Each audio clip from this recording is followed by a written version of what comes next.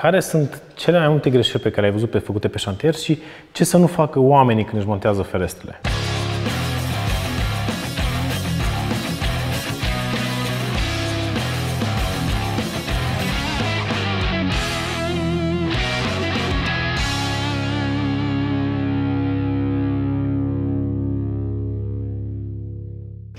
Exemplu, asta să nu facă. Asta, aici s-a încercat un montaj în termosistem de cineva care nu se pricepe și n-a mai făcut asta. Așa a înțeles că trebuie să facă. Și vedem un colțar Un colțar care metalic, iese, iese ăsta cu totul este, din da. afară.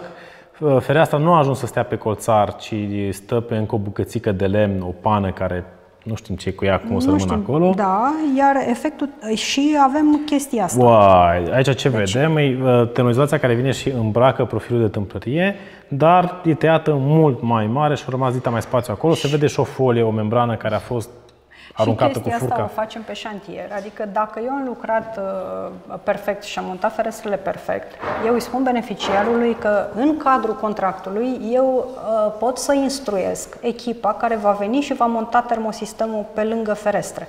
Pentru că e important. Am avut situație în București în care am ieșit la testul cu ușa suflantă 022, cred în jur de 020, deci oricum foarte, Foarte bine. bine. Și în momentul în care s-a pus camera de termoviziune, s-au văzut toate găurile astea între termosistem și ramă.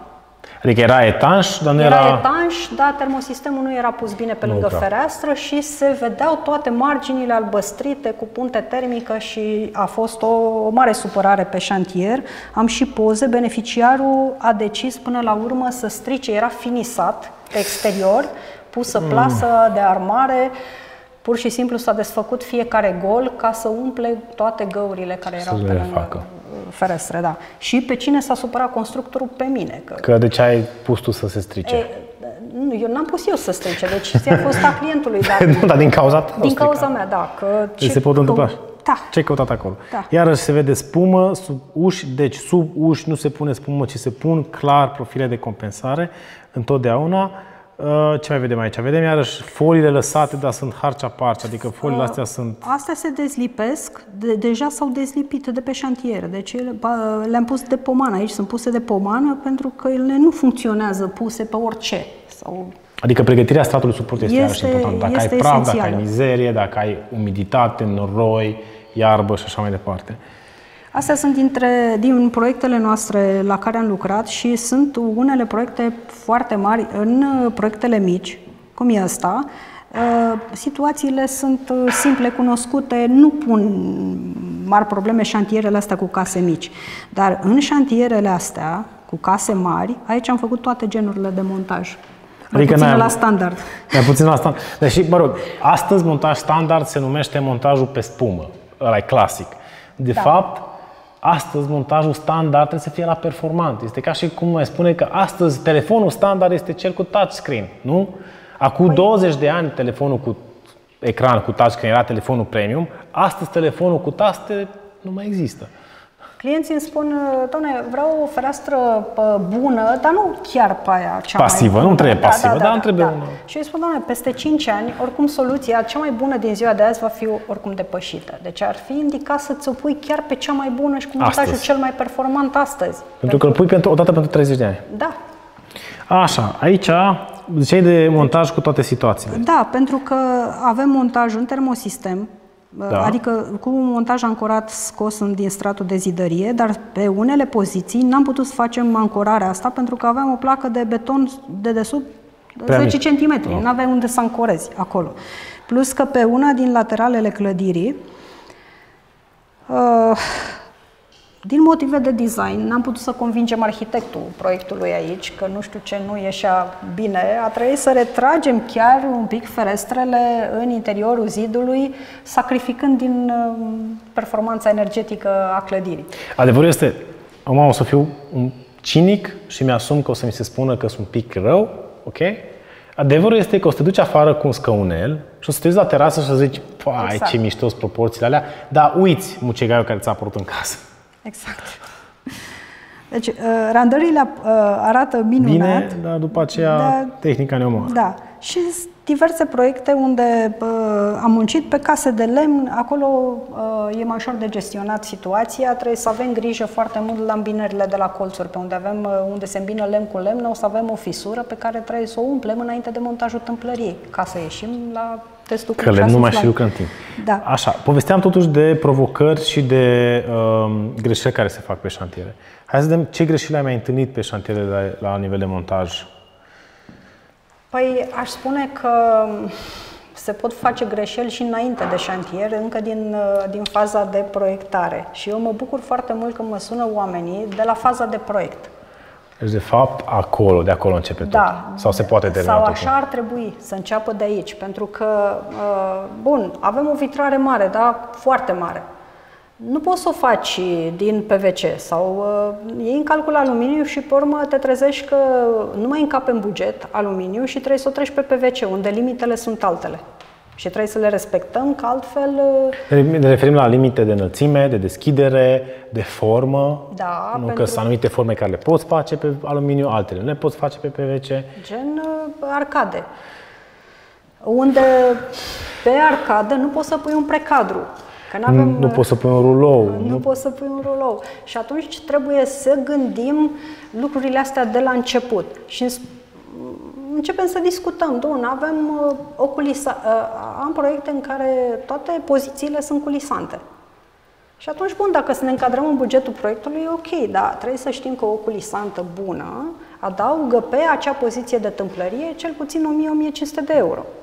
Și în plus față de cât ar fi? Da. față de aceeași deschidere, uh, culisantele au și ele o logică, adică nu ai de ce să faci o culisare pe 2 metri lățime, practic. Dacă da. ai unde să deschizi ușa, dar, mă rog, toate discuțiile astea ar trebui agreate încă din proiectare. Încă din proiectare. Deci, de fapt, cele mai multe greșeli de șantier pleacă din proiectare. Dacă da. proiectarea nu e bună, atunci pe ce, șantier... Ce întâlnim? Întâlnim gol de 40 pe 40 sau de 80 pe 40. Pe 40 nu poți să faci înălțime, 40 de centimetri, nu poți să faci o fereastră să deschidă. Că nu încape feroneria, nu poți să lipești o cercevea din nimic. Adică nu există feronerie pe așa ceva.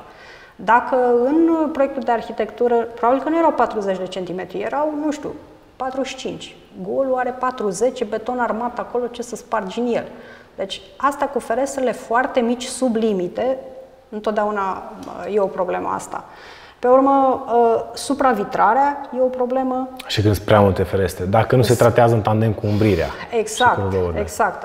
Avem expusă pe sud toată laterala casei și chiar am avut, tu știi proiectul ăla cu structură metalică, unde eu am calculat suprafețele de vitrare erau jumătatea pereților exteriori și uh, clientul era foarte happy că el știe că are prin perete un transfer de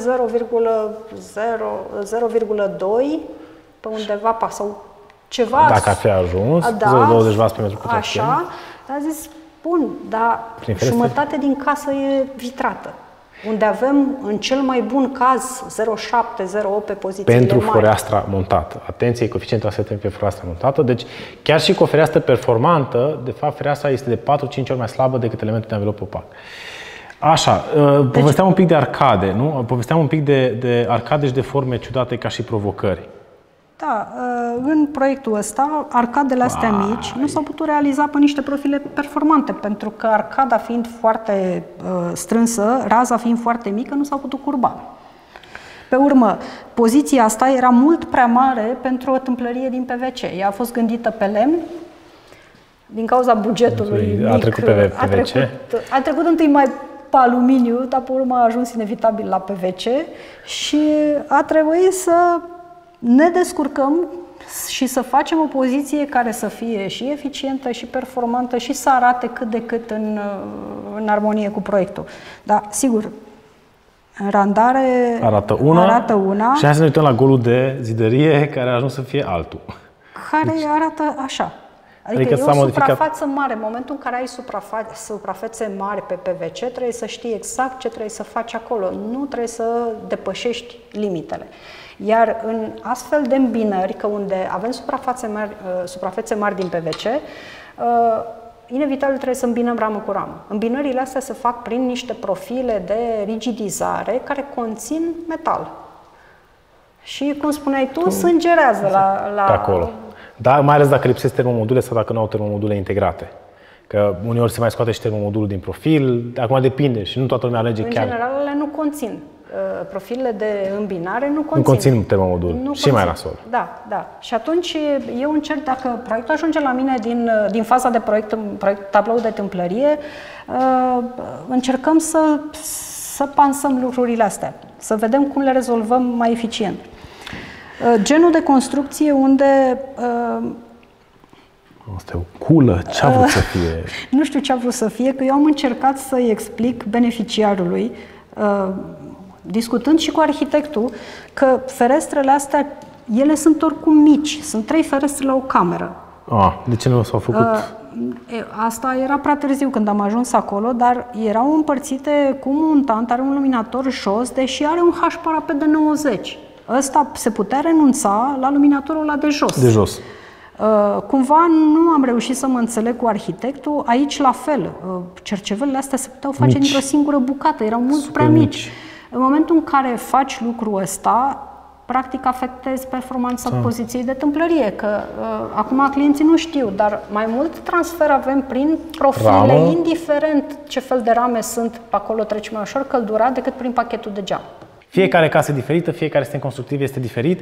Ce, în schimb, ce sunt la fel, sunt principiile de bază. Principii despre care am mai tot vorbit, despre acordare termică, despre tanșeitate, despre poziția corectă a tâmplăriei și vrem să vă arătăm de fapt ce să nu faceți sau care sunt semnale de alarmă pe care le puteți trage și singuri în momentul în care vă alegeți un montator de tâmplărie și vedeți portofoliul lui, puteți să ziceți și voi, dacă vedeți astfel de probleme, bă, stai un pic că de fapt acolo nu e chiar corect. Eu dacă fac montaje de 18 ani, am făcut toate greșelile pe care putea să le facă cineva. Sper că le-am făcut pe toate, dar am învățat constant din greșelile pe care le-am făcut. Pe Păi asta e Constant. vorba aia, că a mistake, it's only a mistake if you do it twice. O greșeală este o greșeală numai dacă o faci, de fapt, de două ori sau dacă o repeți. Da, greșeala face parte din procesul de învățare, e normal, Bă, dar nu promova greșeala aia în continuu, nu te duc cu ea în... Oamenii fac greșeli, eu nu cred că fac greșeli din reavoință, fac din neștiință.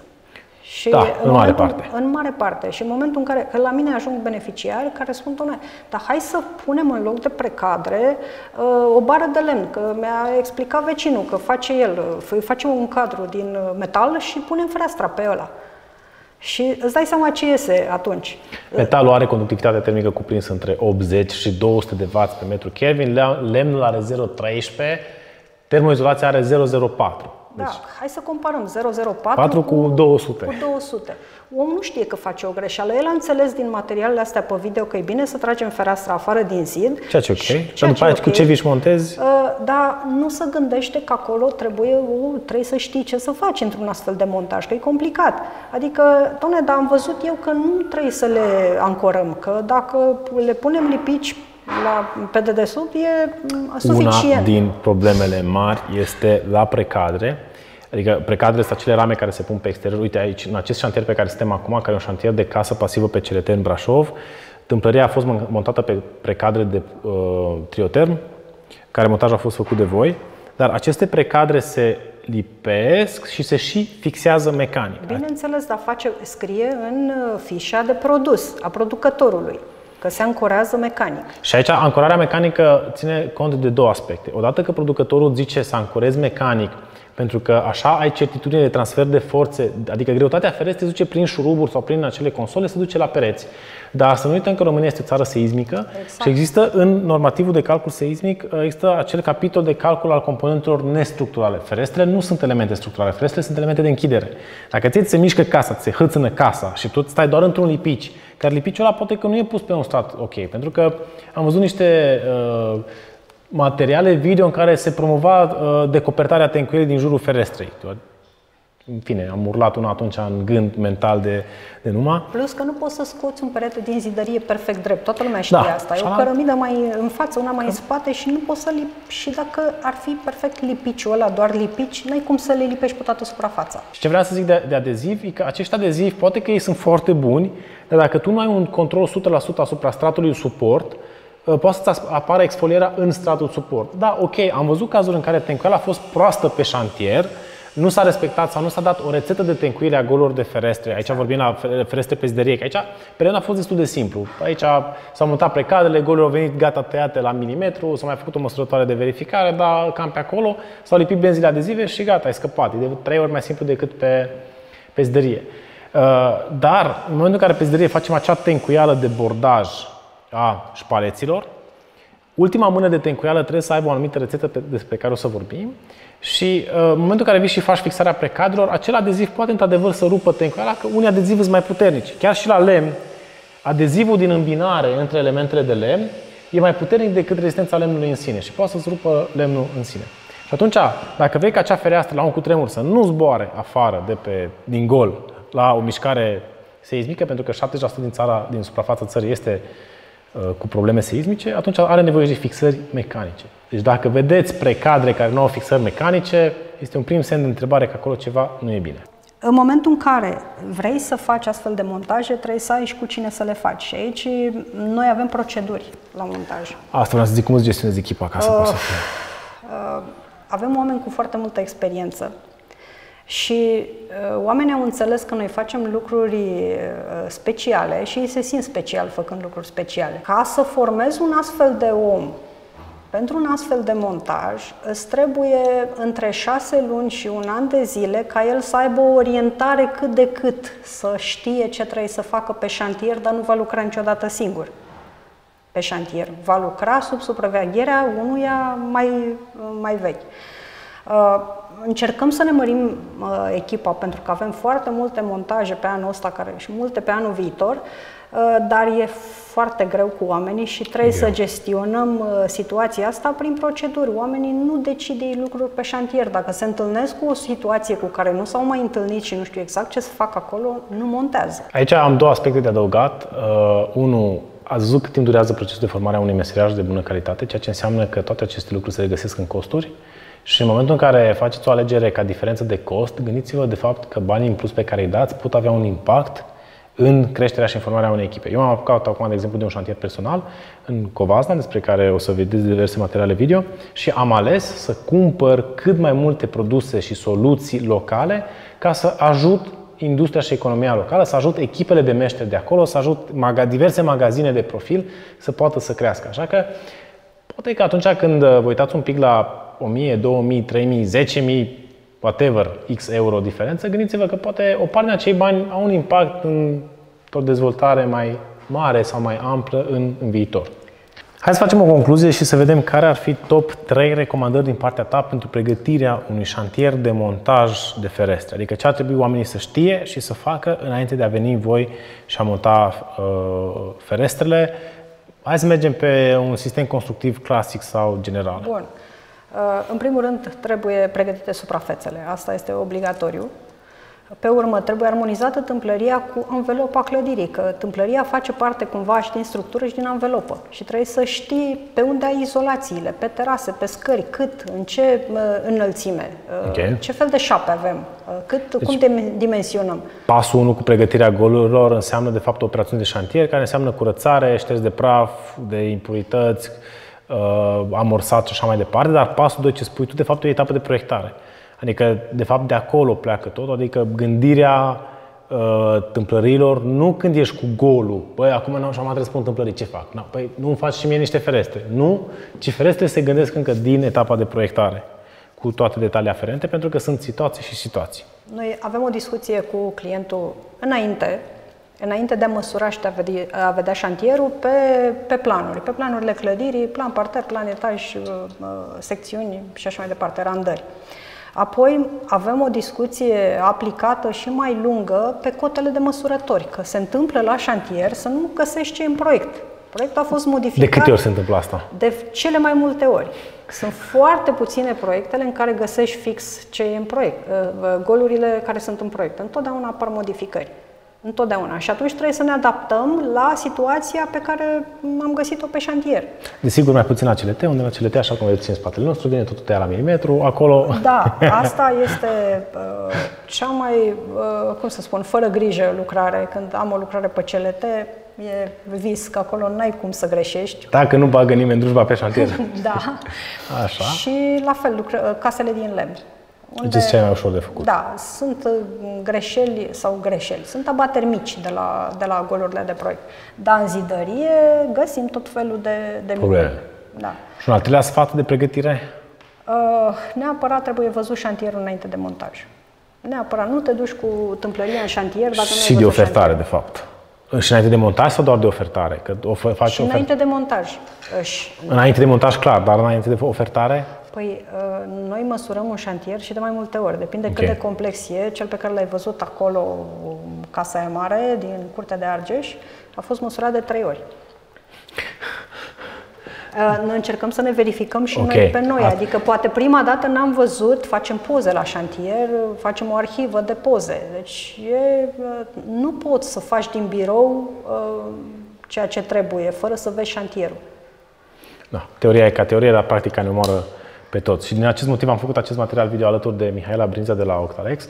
Uh, E un parteneriat făcut între noi pentru că uh, cu Mihaela am apucat să lucrăm în mai multe proiecte și în ultimul proiect chiar s-a dovedit a fi foarte bună în ceea ce fac, foarte bun în ceea ce fac, pentru că, așa cum am zis și la început, în această casă Testul de tanșeitate a ieșit foarte, foarte bine și în mare parte se datorează și lor pe montajul de ferestre, pentru că au fost foarte atenți, așa cum puteți să vedeți acum și în ilustrații, benzile sunt puse chirurgical. Benzile sunt montate chirurgical. Și probabil ați putea spune că este foarte ușor de vorbit din birou sau de pe un șantier de CLT unde piesele vin tăiate la milimetru, dar dacă intrați un pic pe site-ul celor de la Octalex, veți vedea că au diverse montaje făcute pe mai multe sisteme constructive în care respectă toate principiile de, ca, de care și eu și Vlad Ciobanu tot vorbim de montaj corect. Pentru că în cazul unui montaj, mai ales pe zidărie, trebuie să vii să pretencuiești golurile. Și aici sunt destul de multe debate-uri în industrie dacă tencuim sau nu pretencuim.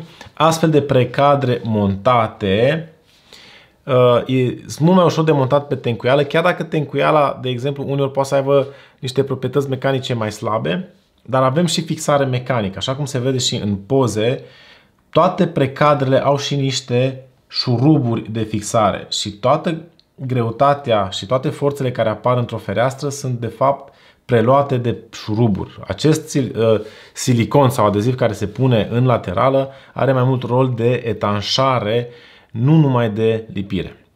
Și asta îmi place la Mihaela și la echipa ei, că chiar lucrează curat și lucrează îngrijit și nu trebuie să stai după ei pe fiecare șantier, pentru că ei obțin rezultate foarte bune în marea majoritate a șantierelor în care ei fac montajul și în care se corelează și cu celelalte lucrări. Uite ce frumos este și aici precadul tencuit, zona de uh, gol de fereastră, pardon, pretencuită, pentru că într-un astfel de caz vii și faci o tencuială mai bogată în ciment și o finisezi ușor.